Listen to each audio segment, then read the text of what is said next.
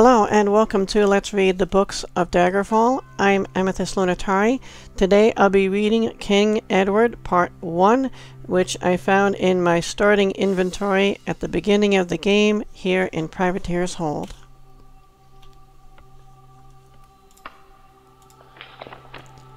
King Edward Part 1 Chapter 1 Departure from Daggerfall Long, long ago, when the world was in its springtime, before the Red Guards came and the glorious Septim Empire was formed, but after the goblins had driven the dwarves out of Hammerfell, a son, Edward, was born to King Corsair I of Daggerfall and his queen, Elira of Wayrest. The young boy lay drowsing in the palace orchard, high on a breezy hill overlooking the deep blue bay of Daggerfall. The constant autumn fog of Daggerfall had blown away for the nonce, and the sky was a deep, endless blue. Moments like this were rare for young Prince Edward. This afternoon was the result of days of scheming, for he craved solitude as the other nobles he knew craved companionship. Now his tutor believed him engaged in extra arms practice.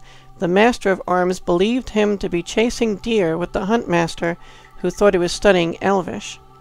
His father had no idea where he was and didn't care, being occupied with his young wife and their sons and other pleasures of noble life.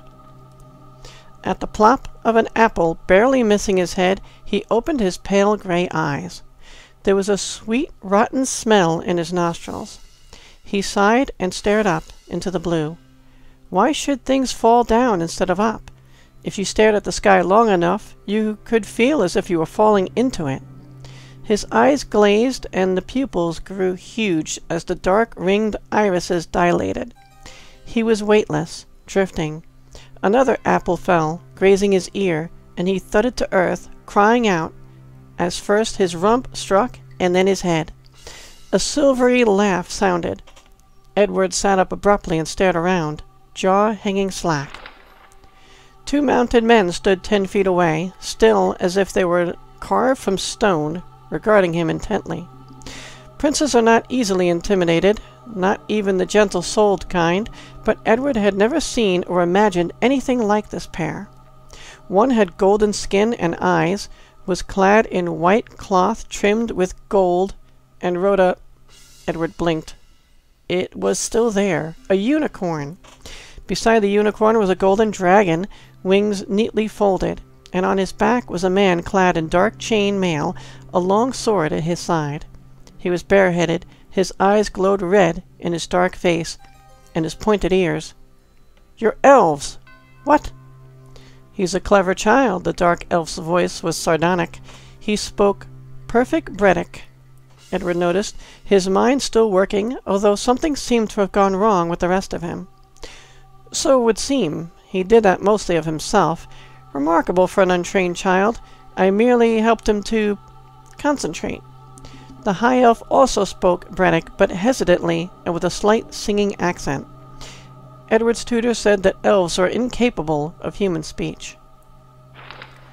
Edward's gaze shifted rapidly over the four beings in front of him, unable to find a comfortable resting place.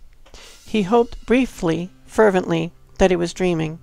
His mind seethed with questions and demands, but then quite suddenly his tongue came unstuck. But I wasn't concentrating at all. My masters say I'm incapable. Edward clamped his jaw down hard, suddenly realizing that it might be unwise to argue with beings such as these. But the golden elf smiled broadly, showing perfect white teeth. Exactly. He radiated such warm approval that Edward felt his skin tingle pleasantly. It was a feeling that he had only known with his long-gone mother. But the other elf's face was expressionless, the red eyes bored into Edward as if they would pierce his soul. Moraelyn! You're Moraelyn, the Witch King! He jumped to his feet and faced the dark elf. You stole my mother. My father will kill you. I am. I did. Will he? Shall we call him and find out? The dark elf straightened, and his eyes glowed deeper. A tiny puff of steam escaped the dragon's nostrils. A glowing aura appeared around his companion. Edward knew he wasn't going to call the guard. Why should they be slaughtered? These two looked capable of anything. Quite suddenly, he was no longer afraid. If they were to hurt him, they'd have done it by now. But a feeling of Im- impotent rage remained. They'd taken his mother, and now. Why are you here? he demanded. Edward, will you come with us? The high elf spoke. Hearing him was like hearing a harp, cool as a breeze, warm as a fireside. The boy stood very still. He wanted very much to say yes. To his am- own amazement, he wanted to ask if he would see his mother, but instead, My father, he croaked. We'll miss you, no doubt. The irony was back in Moraelyn's voice, a voice that made Edward think of icicles sparkling and dripping in winter sun. But there was a sort of hunger in his glowing eyes, a longing. His father wouldn't miss him, and he knew it. Shame ran through the boy, but he looked up at the broad-shouldered elf defiantly. Are you my father? Edward had meant the question to match the elf's sarcasm, but his hand crept to his ear as if of itself.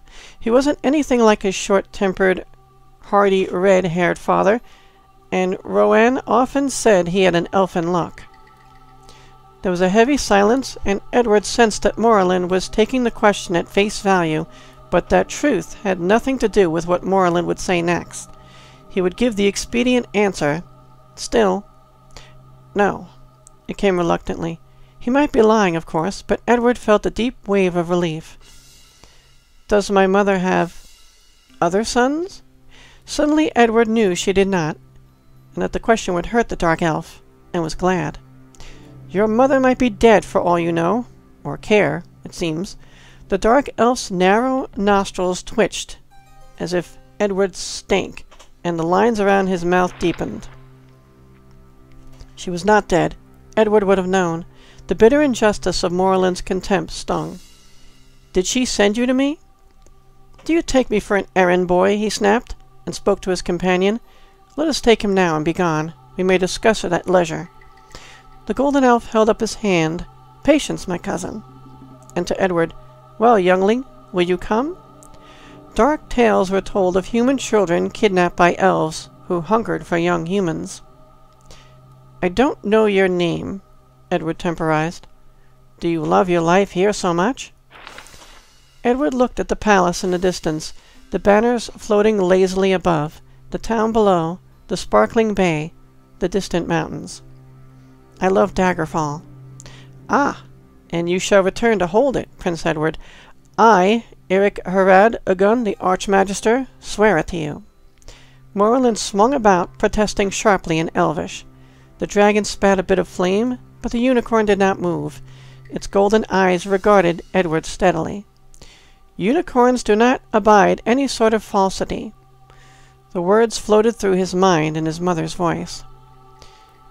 Eric Harad Igun, the Archmagister, I will come with you. You must ride with Moraelyn. The Lord Akatosh has consented to this necessity. The elf made a sweeping gesture toward the dragon. He wasn't fit to touch a unicorn, of course. Very well, then. I... I don't suppose I could bring my dog? Where was he? Shag was always with him, asleep in the grass. Shag, the ever alert? Edward knelt to touch him. A heated discussion in Elvish ensued, during which the dragon scorched the grass. Moraelyn swung down and picked Shag up with distaste. Very well, then, but I warn you that Akatosh is at the limit of his patience.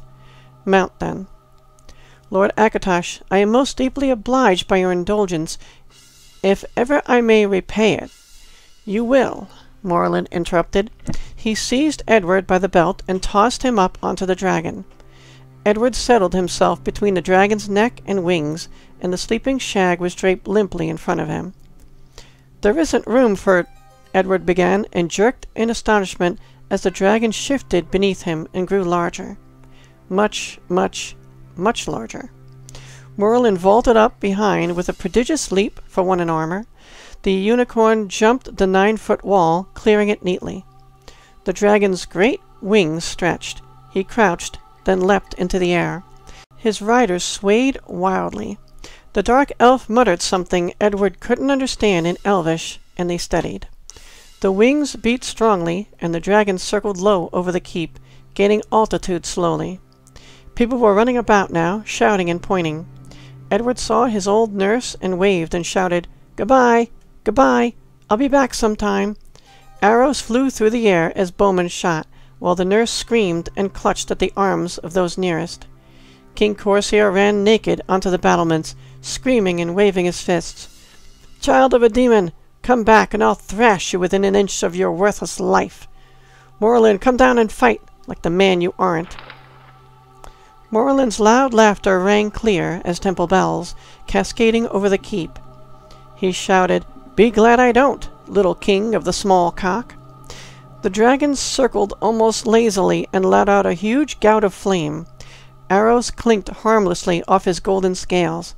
I'm off to see my mother.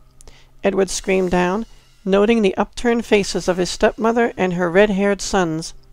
Rowan had a fur-trimmed robe clutched around her, but her long hair floated wildly. Four pairs of eyes fastened on him, not Moraelyn, glittering with fury and hatred.